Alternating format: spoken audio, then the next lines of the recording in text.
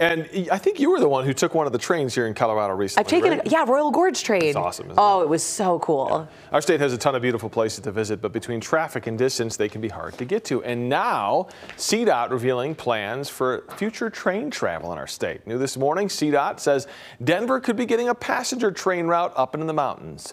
Communities in the Yampa Valley recently bringing attention to reestablishing a passenger rail line that previously operated across a 191 mile Union Pacific Railroad route until 1968.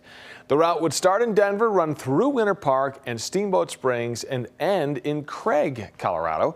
It would be reestablished thanks to a $5 million investment to study the rail line and other projects.